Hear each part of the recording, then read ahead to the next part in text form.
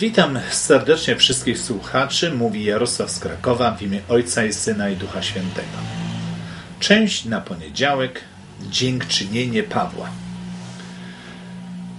Apostoł miał skłonność do tworzenia bardzo długich zdań. Tesanoliczan, pierwszy rozdział 3 do 10 stanowi jedno zdanie dotyczące przede wszystkim wydarzeń związanych z powtórnym przyjściem Jezusa. Jednak główną częścią tego zadania nie było bezpośrednio Jego powtórnym przyjściu. Powinniśmy zawsze dziękować Bogu za Was. Wzmianka Pawła na temat powtórnego przyjścia Chrystusa jest jednym z czynników wzbudzających jego dziękczynieniem Bogu da, za Tesaloniczan. Przeczytaj drugi rozdział, pierwszy, e, drugi do Tesaloniczan, pierwszy rozdział 3 do 4 jaką ważną duchową zasadę znajdujemy w tych wersetach w odniesieniu do zagadnienia wiary. Co dzieje się z wiarą, jeśli się ona nie rozwija? 3 do 4. Powinniśmy zawsze dziękować Bogu za Was, bracia. Jest to rzecz słuszna. Wiara Wasza bowiem bardzo wzrasta i wzajemna miłość Wasza pomnaża się w Was wszystkich.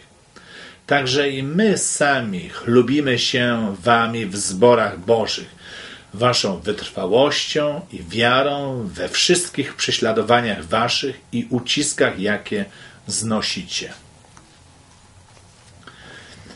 Powinniśmy to bardzo ważne słowo w drugim do Tesaloniczan. Paweł czuje się zobowiązany dziękować Bogu za Tesaloniczan, gdyż ich wiara wzrasta.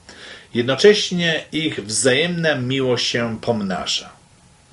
W oryginale słowo to występuje w czasie teraźniejszym, to znaczy, że wzrastanie Tesaloniczan w wierze i pomnażanie się ich wzajemnej miłości były stałe i trwałe. Tego rodzaju wzrost na podstawie wowe znaczenie dla zdrowego zboru. Zbór jak roślina, jeśli nie wzrasta duchowo, to umiera. W drugim i trzecim rozdziale drugiego listu Paweł kieruje pod adresem zboru istotną krytykę. Jednak wie, że ludzie potrzebują wielu uznania, zanim będą w stanie znieść konstruktywną krytykę. Tak więc w pierwszym rozdziale listu wyraża uznanie dla nich.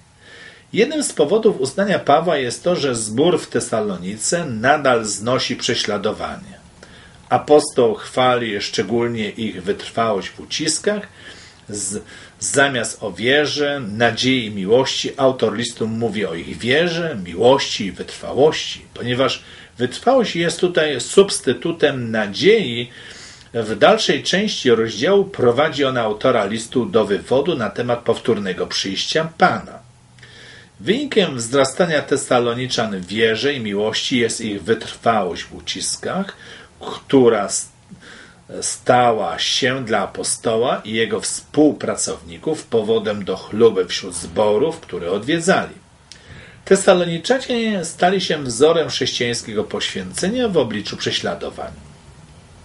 Jakie próby i uciski wzmagają Twoją wiarę? Z drugiej strony, kto z wierzących z powodu prób i ucisków nie musi się zmagać ze sobą, by zachować wiarę? Dziękuję.